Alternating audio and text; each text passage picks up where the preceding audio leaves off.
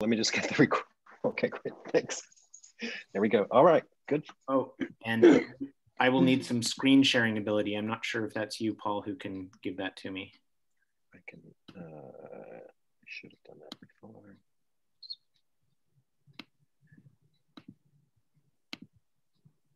Okay. All right. Oops, pressed the wrong button, technology. Ah, escape.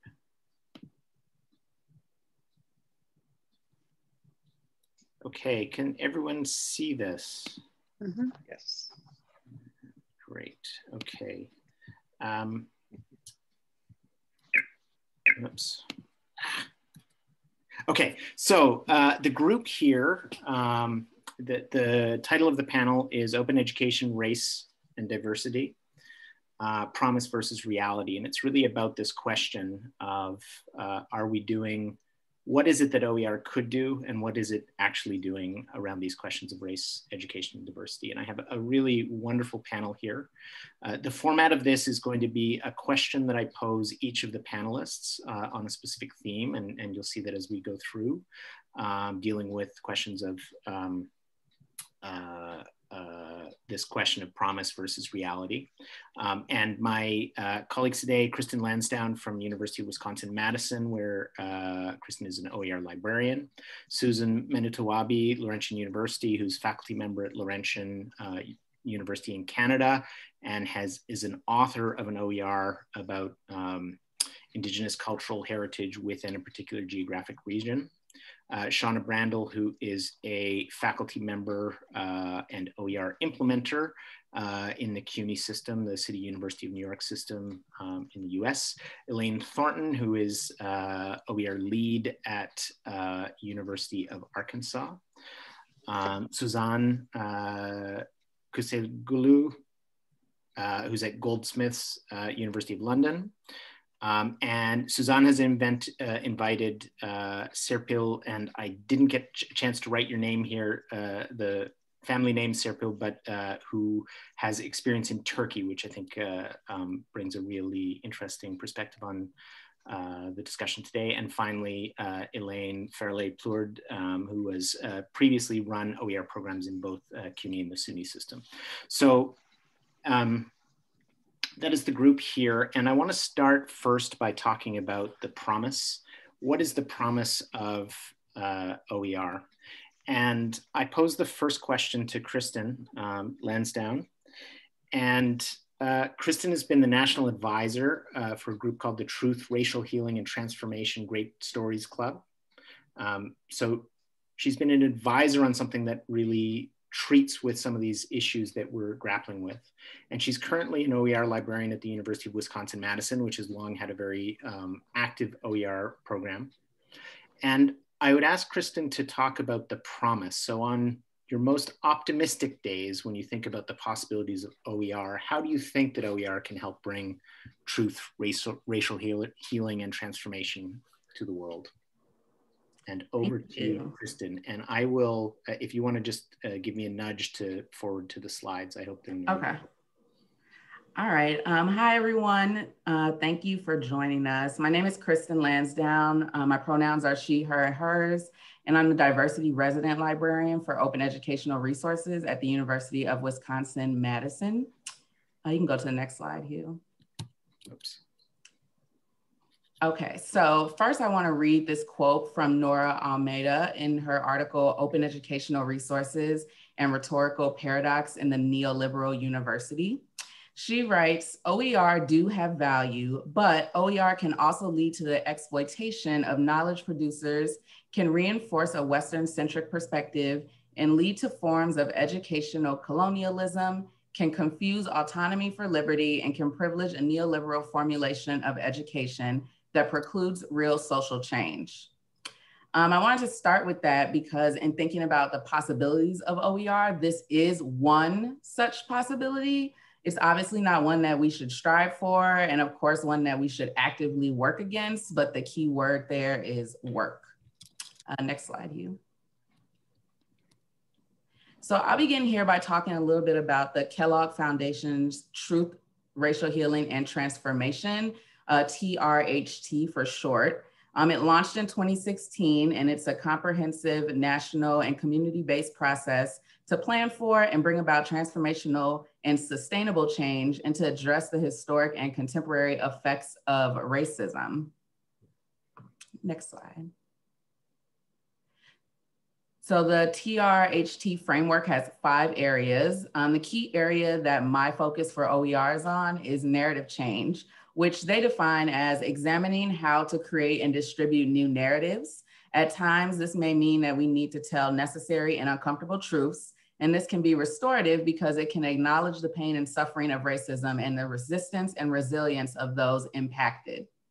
Um, narrative change and racial healing and relationship building are the two foundational pillars of their framework, uh, with law, separation, and economy being the other three areas. Next slide.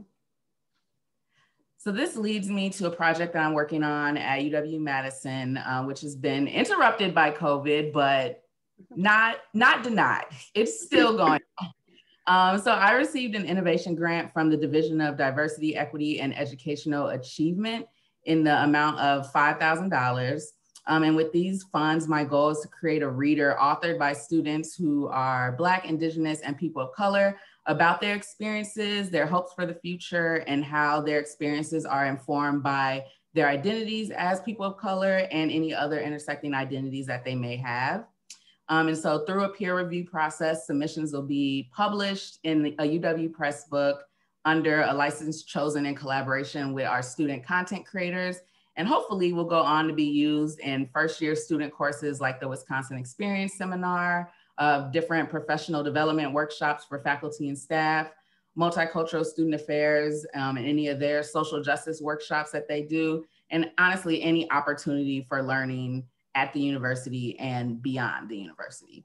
Um, I've also had discussions with our Writing Center to host a narrative storytelling workshop for our writers. And in thinking about how to care for our writers, um, exploring an optional racial healing circle. Next slide. So that brings me back around to the other end of the spectrum for promise and possibilities of OER. Uh, for once, for me, one step on the pathway to equity is centering students in OER. So this combats the banking concept of education that Paulo Freire described, uh, which positions students as receiving, filling, and storing deposits from teachers. Um, and with open pedagogy, students are given more agency and autonomy to become knowledge creators themselves. Um, also, as Nora Almeida discusses, instructors have a unique opportunity to use OER to examine relationships among authority, knowledge, and power to help students understand how these structures exist in academia, but also in society as a whole and how they can be confronted. Um, I think it's important not to use OER in a vacuum, but contextualizing and localizing to ask what voices are missing and why. Um, I think another area that open pedagogy can, you know, collaborate with is service learning. And so thinking about this reader, what what what happens next once the reader is created, once it's being used in courses? How are people using the reader to impact those other five areas of the truth, racial healing, and transformation framework? Um, so at predominantly white institutions, many voices and experiences of students are missing and more often than not outright silence. So OER can be a good opportunity to amplify these voices and using open pedagogy deeply engage with that content. Next slide, Hugh. So I'll end with this quote from Audrey Watters' um, OpenCon 14 talk, which was titled From Open to Justice. Audrey says we need an ethics of care, of justice, not simply to assume that open does the work of those for us. Um, so that goes back to what I said earlier, where we have to actively work to make sure we're moving toward the justice end of the spectrum and away from replicating existing oppressive practices. And I am all done.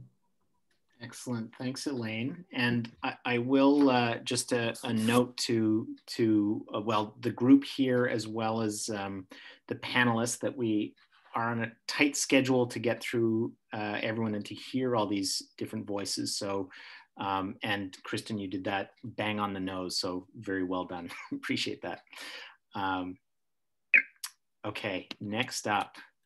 Um, so this is, uh, next we'll hear from uh, Susan Manitowabi, um, Laurentian University, and uh, Susan's background um, is in Indigenous uh, studies, and she's written a really extraordinary, uh, or helped edit and put together an extraordinary OER, uh, Historical and Contemporary Realities Movement Towards Reconciliation, which is about um, the indi indigenous communities and uh, cultural heritage around Sudbury uh, in Northern Ontario.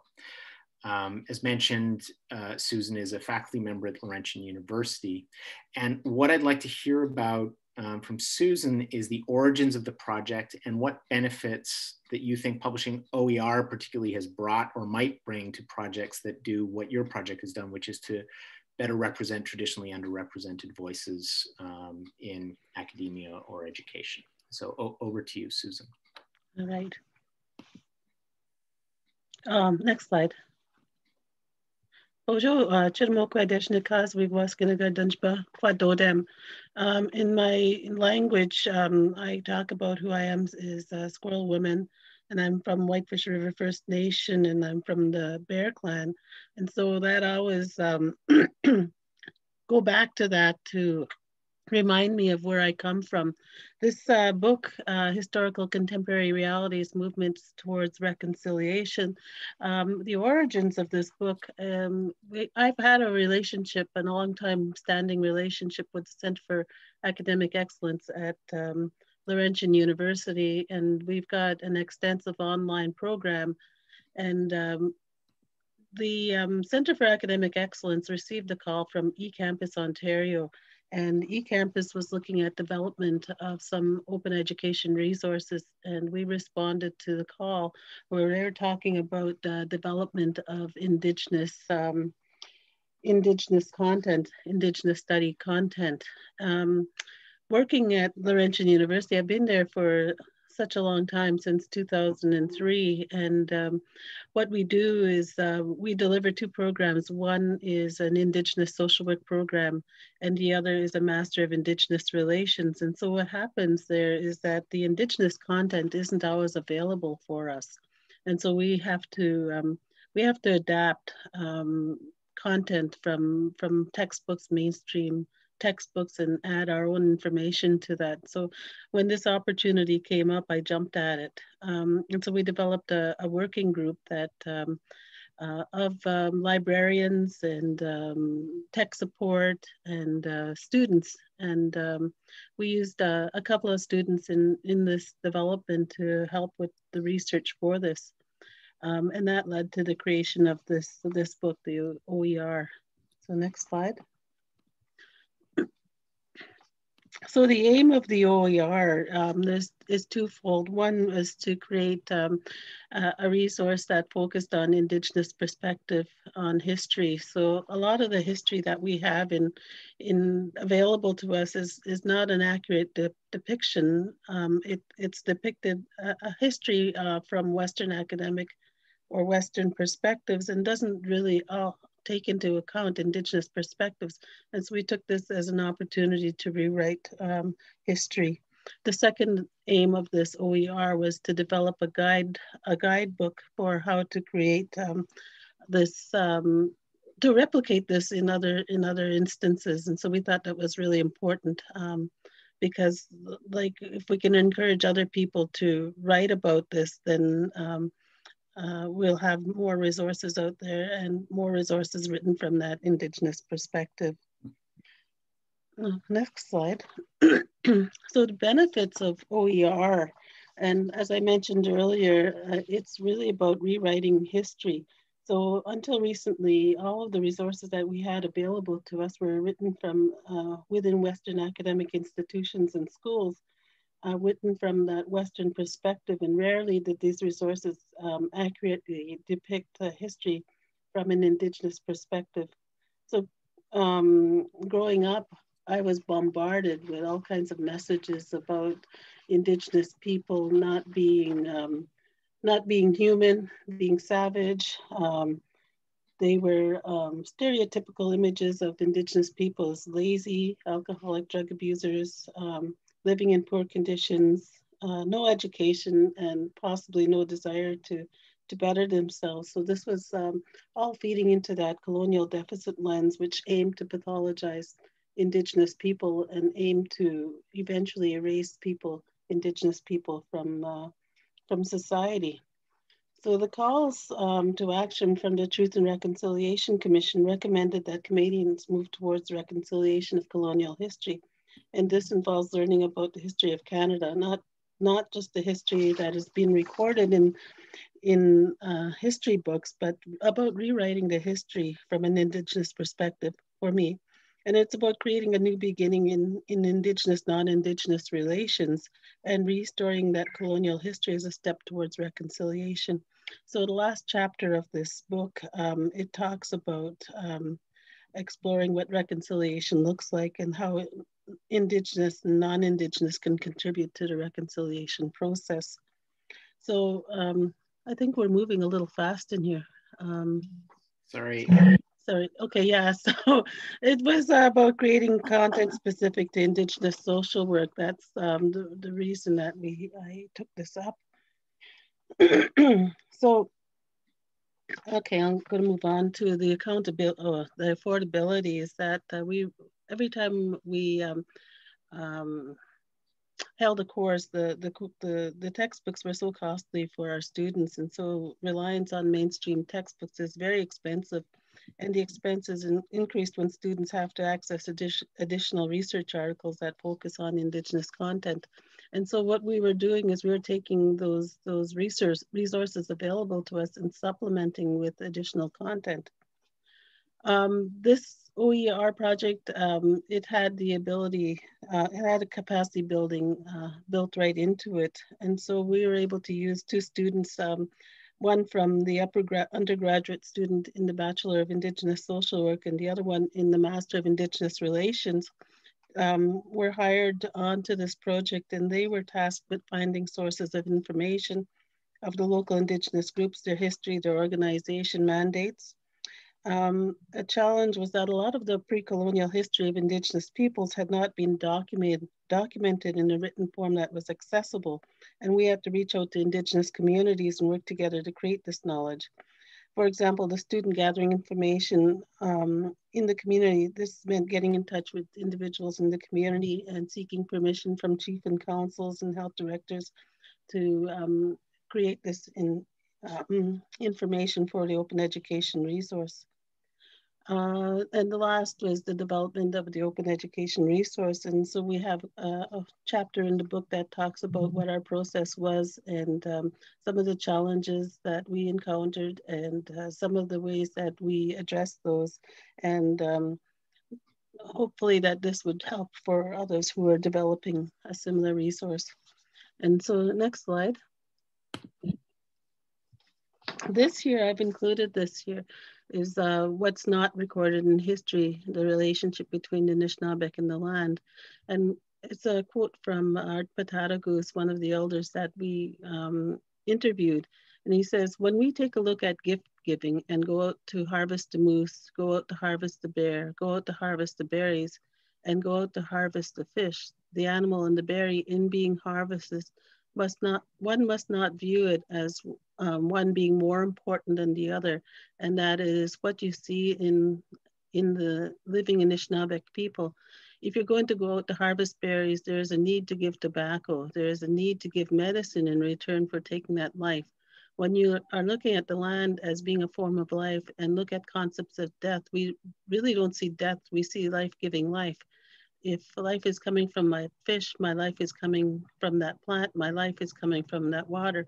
So the object of carrying life within it, within it is to be able to nurture me. And so it really talks to the relationship that um, people have uh, between um, themselves and the land and um, uh, I think the previous slide said something about land back. And so this, uh, when you see uh, other books being created, you don't see this kind of information in there. This comes uh, directly from people living in the community. Okay, next slide. Oops, I guess that's uh, that's it. And uh, I guess all I just wanted to say what that, that this was um, an excellent opportunity for us to to take information that we knew and put it into a format that was easily accessible to a lot of our students. Um, and um, what was uh, beautiful about this process is that we were able to use our, our own teachings and uh, philosophies and, and uh, show a different way. And I think as people went through or read, what our expectation is that as people read through this uh, this book, they get a different perspective of what life is like for Indigenous peoples, and um, maybe gain a more appreciation of what that is.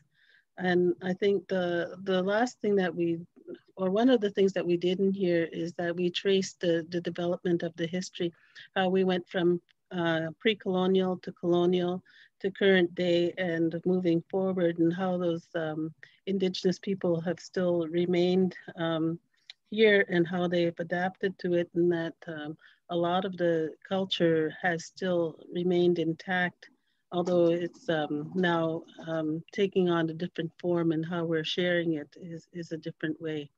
So, thank you for listening. It's wonderful, uh, Susan. I think, um, you know, when we think of the promise of OER, it's exactly this kind of project that uh, a lot of us imagine. Um, and so I thank you, uh, both Kristin and Susan, for um, putting that promise as, as the starting point. And we are now going to go to, uh, I don't know exactly the flip side, but, but talking about the reality of what's actually happening in OER. Um, obviously, that promise is there and it's being realized in some cases uh, but not always. And uh, so I'd like to start with Shawna, um, who uh, is at the City University of New York, and and um, Shawna is a faculty lead lead for OER at her institution within the CUNY system. Uh, and she's also a teacher and active instructor at a community college in Brooklyn um, that has a diverse student body. And I'd like to ask Shawna where you feel that OER is succeeding with your students, but where is it failing and, and why do you think it's failing? Um, thanks so much for that introduction and for asking me to be a part of this incredible panel. Um, I'm gonna turn on my timer, so hopefully I finish early uh, and we can hear more from everybody else. But uh, Kingsborough is the only community college in Brooklyn, New York. We have a student population that is pretty diverse on most counts. As of 2019, we're 29% Black students, 17% Latinx, and 16% Asian American Pacific Islander. About 44% of our students were born outside of the US, and we have a range of abilities and genders and sexualities in every classroom.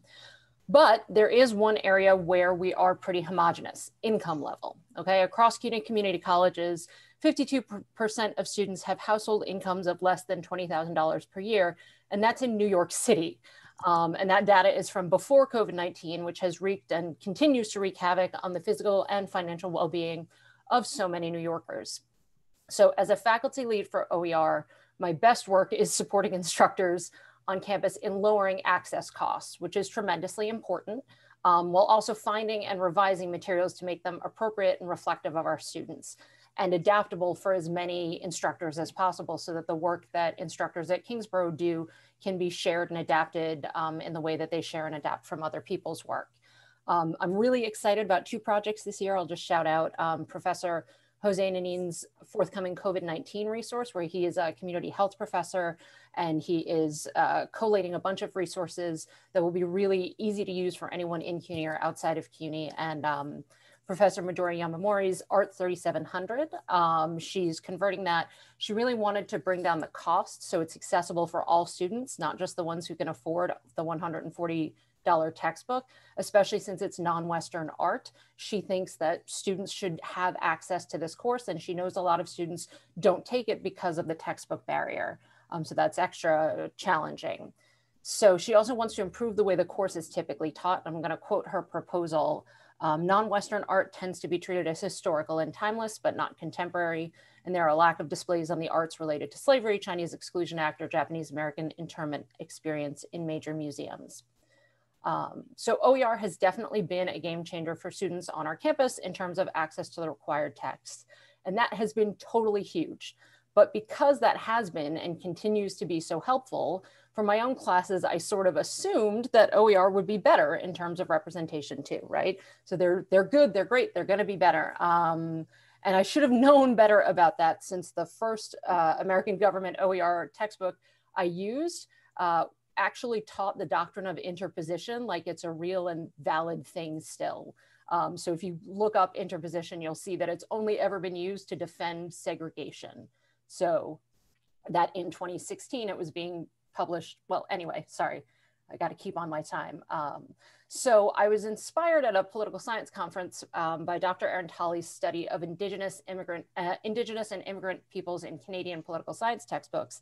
And I remember thinking to myself, oh, she didn't look at any OER. OER would totally be better. So I decided to do it on American government books and to see how they cover historically marginalized groups.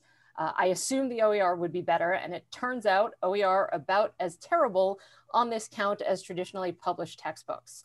Not better, not worse, just equally uninclusive. Um, if you Google it, you can find the study pretty easily. Um, and there's a lot more to it. There's a lot of guts in the appendix if you want to see actually the terms. Um, so the other big takeaway, so besides the fact that the OER are not better, not worse, and that political science as a discipline is really not doing a great job here, is that the only book that really did a good job is this first one in the, the top column is uh, McClain and Tauber's American Government in Black and White. And the only reason it did better than everyone else is because it has a specific, explicit focus. So without intention, these resources do not cover. They just, as a discipline, we overlook um, so many groups in America, which that says that we don't think these groups are important. And if you have to take American government, as many students do, that it's not important for you to learn about these groups or their place in America. Um, so I've been trying to be more mindful of including the per missing perspective in my courses. Um, in my international relations course, I use open textbooks from E International Relations, which are great. But I am now starting the course off with Zvobgo and Loken's foreign policy article, uh, Race is Critical to the Field of International Relations, which is not open. So, right, it's not open. It's not all the good things we think of open, but the students can access it through our library database. And it's been so useful to explicitly ground our class in IR, introduction to IR. Um, another approach I'm trying is trying to co-create better materials with my students.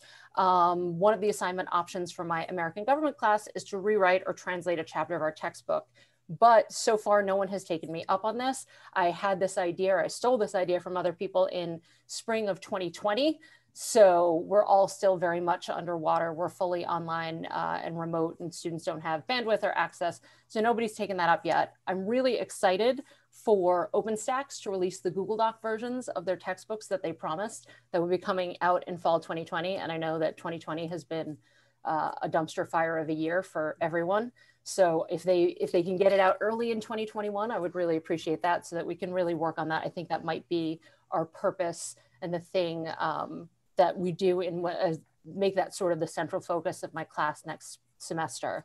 Um, and that I'm going to stop now so that we can go on to other people. All right. Well, uh, thank you, Shawna. Um, and I think that uh, these stats here show a good um, do do a good job of what we were hoping here, which was put a bit of um, cold water on the enthusiasm or um, happiness that that uh, maybe Kristin and Susan uh, reflected, and and force us to pose some harder questions. Um, so I'm going to turn next. So thanks, Shawna, for that. Um, I'm going to turn next to Elaine Thornton, um, who's uh, been running an OER program at University of Arkansas for the past five years. Um, so she's been building this program, um, and my guess is that not everything has been as impactful or, or uh, effective as, as Elaine might have hoped in the OER world. And I'm just curious about why do you think it's harder than some people might have expected? I think we think OER is is going to solve all these problems, and I'm curious about if you can talk about where are the areas where we're beginning to see OER make an impact uh, in race and diversity, but why has it been harder, or what what way in what ways has it um, been more difficult than we expected? Hey, thank you. So my name is Elaine Thornton and I am the Open Education and Distance Learning Librarian at the University of Arkansas in Fayetteville, Arkansas. Um, I think that I'll start with why it's been so hard because when you start doing this work, we started this here about almost five years ago. It's so hard to even get the faculty, the administrators to even listen and then to learn about OER, what it is, um, and then to get them to convert and adopt, you know, OER. So you focused first on the large enrollment classes, which would provide immediate, you know, equity to all students as far as access to textbooks and materials. So I work at a mid-sized public university uh, with limited faculty diversity. And this impacts Black and Brown faculty's availability to participate in the OER adoption and creation process this situation plays out in the classrooms as well. Um, the population of our campus is probably uh, very opposite of what Shawna just mentioned at her campus. Uh, few students ever have a Black instructor in the classroom, and this also plays out among the student body. In 2019-20, only 36 of the 1,400 members of the faculty were Black nine were Native American, 1,200 of the 27,000 students were Black, and 259 were Native American. These students are not just suffering from the lack of interaction with diverse professors and content. White students also miss out on opportunities to grow, think, and learn from someone who might have a different cultural or experiential perspective than they have been exposed to before. And they need this in their education just as students of color need to see faculty teaching who look like them. So over the summer, Black students at the University of Arkansas took to Twitter using the hashtag Black at UARK to share stories of negative racial experiences that they've that have impacted their lives at the university. They also began to demand change and question issues like the lack of punishment for white fraternities who perpetrate racist and bigoted actions year after year, and white faculty they've encountered who question their classroom success. They also demanded that campus leaders look critically at the past. They raised their voices to protest the memorialization of segregationists and lynch mob leaders whose names campus buildings and colleges bear. So I hope that OER can be used to incorporate more diverse voices, images, and content into higher education. We need this on our campus, and I'm sure most do. I hope we can continue to increase the involvement of diverse faculty in OER development. I hope that open resources adopted and created on our campus help students feel like they belong and allow them to see people who look like them in the text and that they address issues that are important to them and serve as tools to educate all students and encourage them to think critically and question their beliefs and past actions. We're not there yet, and we have a long way to go, but I'm encouraged by some recent activity on my campus. So let me quickly share a few brief examples. So there's a place for OER in large core classes. Uh, moving pictures, this introduction to cinema uh, created by Dr. Russell Sharman, uh, Sharman included a section entitled Representations in Cinema to incorporate content he covers in his class that was not present in the traditionally published expensive textbook he used to assign. He's teaching with this textbook for the first time this fall, and it's making an impact on our students. Additionally, We've received feedback and notices of adoption from all over the country, including from several community colleges and a tribal college. Responses have been very positive, and as is the benefit of OER, if others want to clone the book and add more content to include representations they want to cover in their own classes, they can easily do that. Uh, next slide, please. There's also a place for this in specialized area uh, studies content and um, kind of piggybacking off of what Susan mentioned uh, about her book. We've also just had a faculty member apply for funding to write a textbook for a course she created called Native American Languages and Cultures. Um, it's cross-listed in our indigenous, indigenous Studies and World Languages program. Um, and there's no viable textbook for this course. this work will be important not only for our campus, but also for our regional community. Arkansas is the traditional home of the Caddo, Quapaw, and Osage people. And our part of the state also is closely connected to the post-removal lands of the Cherokee, Muskogee Creek, mm -hmm. Chickasaw, Choctaw, and Potawatomi people in bordering Oklahoma. She will draw her, from her own research and include community voices and perspectives. She also hopes to include students as researchers and contributors through open pedagogical methods. Next slide, please. And finally, as a result of the uh, hashtag Black at UARK tweets, and other events of the summer, administrators and faculty seem to finally be paying more attention to racism on, on our campus. Cultural Competency is a new online course that draws from a variety of openly licensed resources. The first semester, 50 students are enrolled. The course creators hope that it will grow to include more sections and that other faculty will, will begin to teach it uh, the creator feels strongly about using OER and preserving and per, uh, preserving that this is a no textbook cost course. Is OER and its implementation in the classroom where we want it to be regarding how it addresses, incorporates, or includes issues of race and diversity? No, not yet, but it has the potential to get there.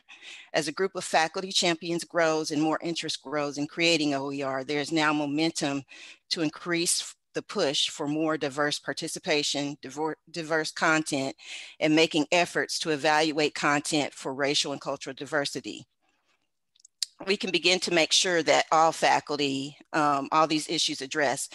And we know that it's the responsibility of all faculty in, in all disciplines to address these issues. Moreover, um, it also takes the diverse, diverse perspectives from OER advocates who work with faculty. We need to question their content and encourage them to address these kinds of issues um, in content they want to cre uh, create. Thank you. All right, thank you, Elaine. Um, uh, wonderful that even when we're uh, talking about the cold doses of reality, it's coupled with uh, the potential is still there. And I think that that's the exciting thing about OER. I thank, uh, you know, both Sean and Elaine for uh, doing the hard work on the ground. I think um, it's, it's great to see, uh, see the work happening and, and the progress being made. Um, I want to talk now about the future, and uh, we've seen what the promise is.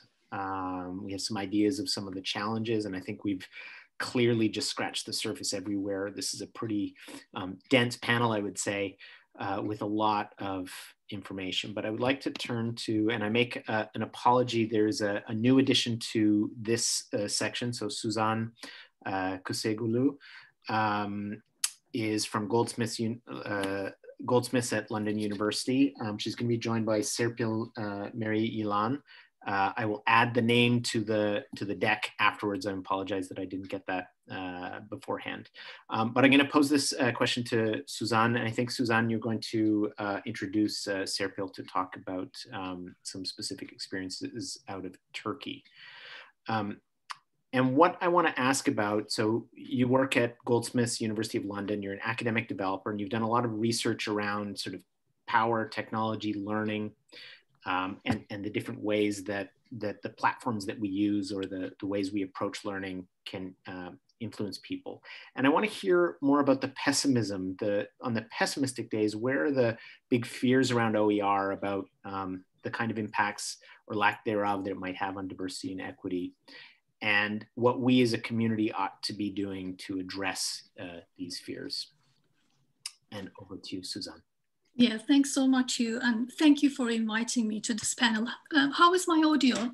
Are you able to hear me well? Absolutely, yes, thank you. Okay, that's great. I wouldn't call myself um, um, a pessimist person, but I sure do have concerns. I have a lot of questions about OER.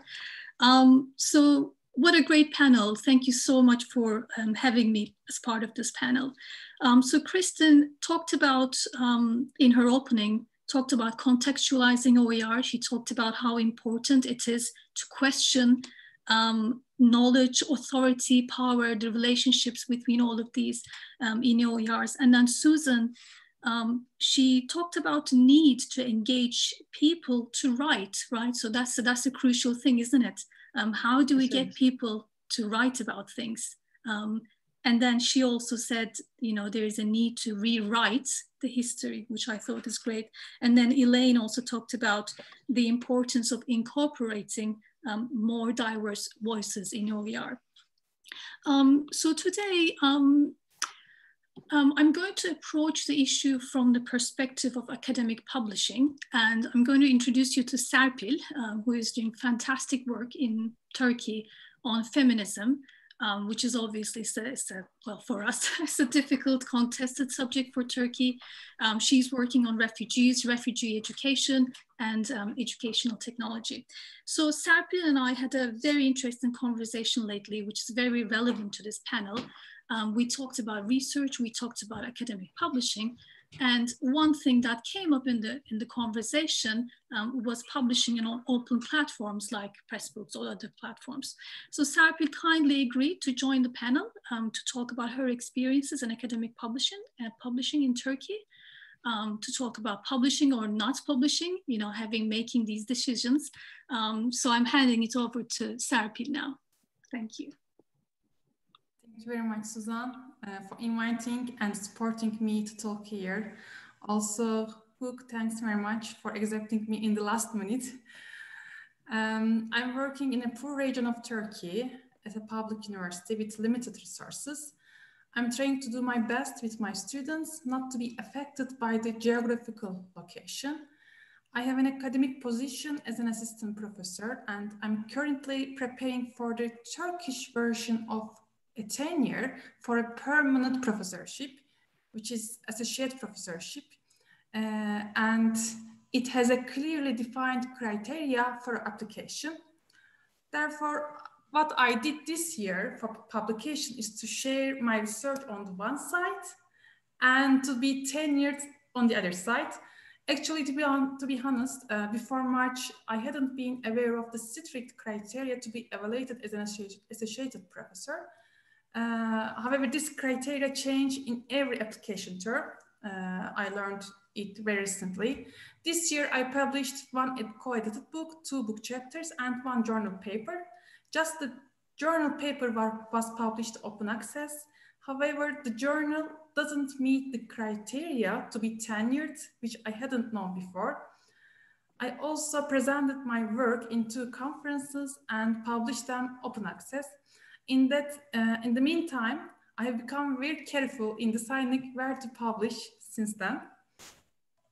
Along with these publishing commitments, I have teaching commitments uh, on different courses, uh, not just in my department and also in, the, in other departments. I currently have more than 800 students to teach and care remotely. Um, However, being an academic doesn't mean that you are just responsible for your teaching and research here. There are some administrative responsibilities, such as confirming the students' registry or responding, responding to any inquiry of students, etc. Last but not least, I have a three and a half year old daughter I need to care for. With all these responsibilities, I need to think carefully about my career for the professorship. Uh, the thing about open publishing is that the university I work at has a very rigid criteria for publishing books or book chapters. This is the criteria for inclusion in, uh, in the evaluation of an application for a professorship. So I'm going to read uh, these to you. Uh, the publisher needs to have four years of publishing history. The material needs to have been cataloged by certain higher education institutions. These institutions must be one of the best 500 universities in the world, which has been decided by the Council of Turkish Higher Education. The publisher has published at least 20 academic books by different authors from the same academic discipline. Yeah. Suzan, yeah, this is all uh, about the publishing, academic publishing in Turkey, a case from Turkey. Yeah. Thank you. Thank you, Serpil. Um, yeah, so I think Serpil, your story, the way um, the, the, criteria works, um, definitely show us that you know open publishing is not always an easy decision, right?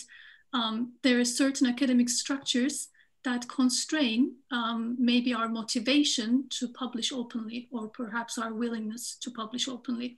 Um, so I think Serpil and I, we had, a, we had a conversation around this, and I don't know what you'll think, Serpil, about this, but we thought um, the larger academic structure definitely um, regulations and also the power held by more established senior academics um, certainly impact the process of publishing. Um, and also with COVID and everything, if you think about um, recent changes, um, uh, the, the structure of family life, the social life also has definitely has an impact on the process of publishing. Um, so female academics, they work a lot. Um, globally, you know, they work uh, most, you know, often harder than their male counterparts because they have a lot of other responsibilities in addition to um, academic work. And this is something we observed in our previous research um, on open and distance education. So uh, the, the question you posed me was a very difficult question. That's why I brought Serpil in because, you know, we need to tackle this collaboratively. Um, so I guess the thing I'm trying to say in the end is um, uh, what do we do about power um, in, the, in the institutions of higher education, in the society, in families, in communities, in education? Um, perhaps we need to start from there. Um, and we need to really understand how things work um, socially, how power structures are, are, are organized socially, and then go from there. Um, so Serpil, maybe you can add some last words. We we have a few more minutes, I believe. Is that so, Hugh? I agree with you, Suzan. I think system, yes, please. Uh, which is the system which is against uh, open access makes researchers or colleagues here uneager to, to share their work or knowledge openly, even with their colleagues in the same institution. As a female academic, I feel that the gap between the academia where research is shared open access, openly, or not, and not, is getting bigger because of the pandemic situation, because we are using the technology a lot compared to uh, other years. And I think uh, despite these challenges, these challenges, uh, being open to publish open access should be on the point. That's why I'm still um, publishing in some journals or uh, pub publishers uh, to share my knowledge and get receive feedback from others. That's why. Thank you very much, Suzan. Thank you. Thank you, Serpil. Thank you, everyone. Yes, well. Yeah, so, so I think what's what's interesting, uh, particularly in Serpil's story, is is just the this question of who has the luxury to work in OER or open access, and and is it everyone? And and uh, I, I, think that really, you know, Serpil's story talks about that, uh, and I think OER is probably even worse in in terms of the way that the institutions recognize it uh, than open access publishing. Um, so thank you both uh, for your story and perspective coming from uh, another part of the world, which I think is um, is, is really critical. Um, good to move on uh, last. So I've made two errors. One is I didn't get um, uh, Serpil's uh, information on the slide deck, which I will um, correct. And I made a second error. Um, is that right, Elaine? Have I got an error here on no, how that's you... right. It's oh, the good. first slide. It's wrong, but that's right. I corrected it somewhere. Okay. Mm -hmm. Phew. Uh, so Elaine, um, to close us out, Elaine's been a program director at uh, colleges in both the CUNY, so that's the City uh, University of New York system, and the SUNY system, which is the State University of New York systems.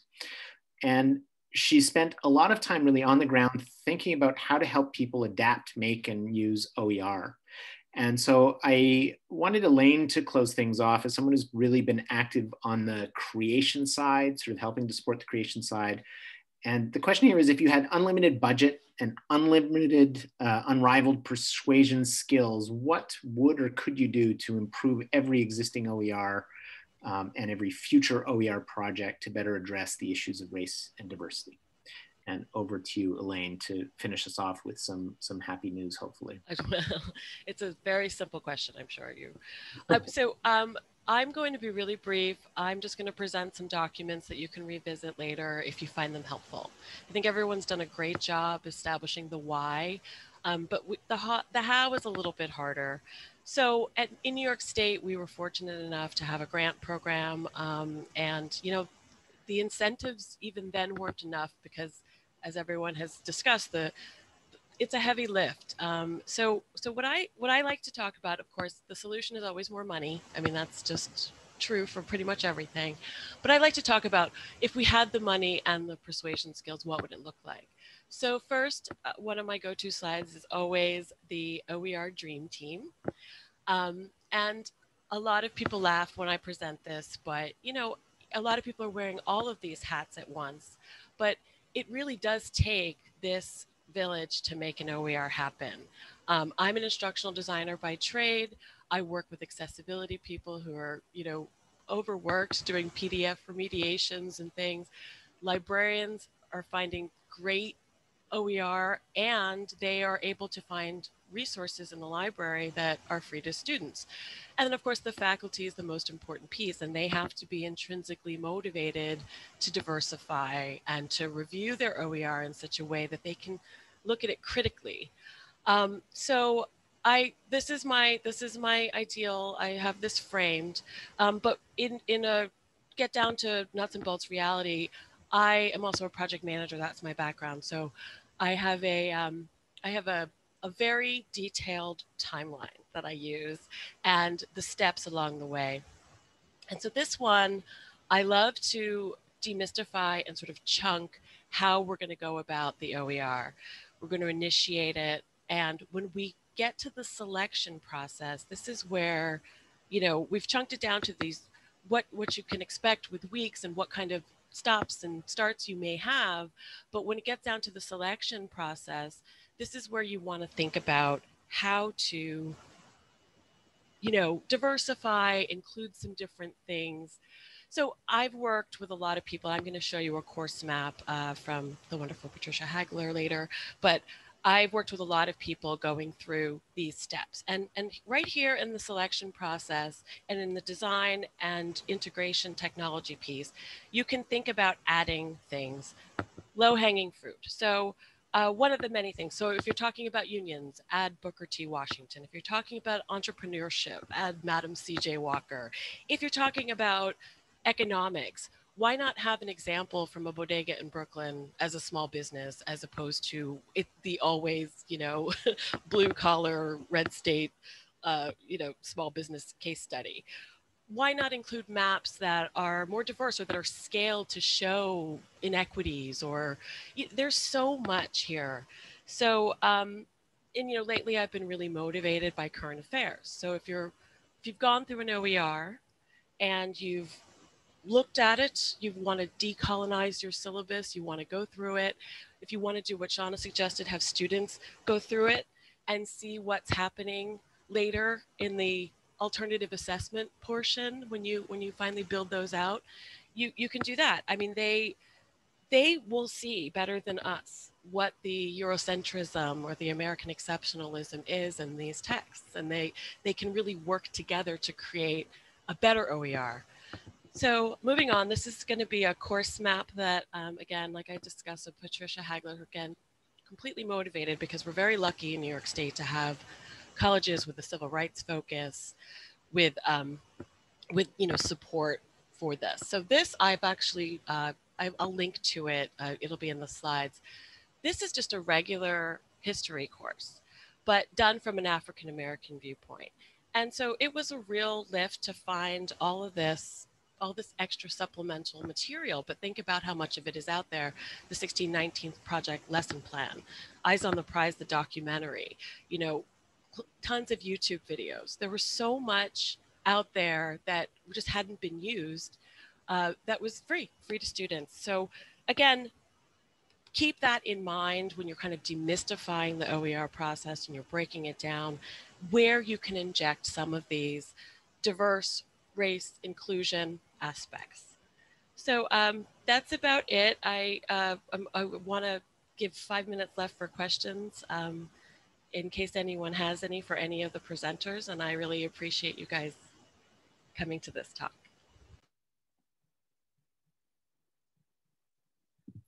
Thanks, Elaine. And uh, I must say I'm very impressed with everyone. That was a pretty tough um, job for everyone to stay on time. I feel like we could have spent an hour on each section. Yes, uh, go ahead, Elaine. I had one more slide with Oh. some examples.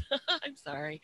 The very last slide um, had some examples of where you can find diverse images um, or anything else that you can integrate. You know, if, if you've got, if you're using stock photos, why not use some better ones? So if you guys can Mhm. look at that, that'd be great. Awesome. Nice, nice to finish with such a practical, um, practical thing. So we do have a couple of minutes here, five minutes. That's not nearly enough to get into any interesting, uh, or not quite enough to get into any deep questions. But um, does anyone, would anyone like to pose a question uh, for this wonderful group here? And again, thank you so much for keeping on time. That made my job much easier.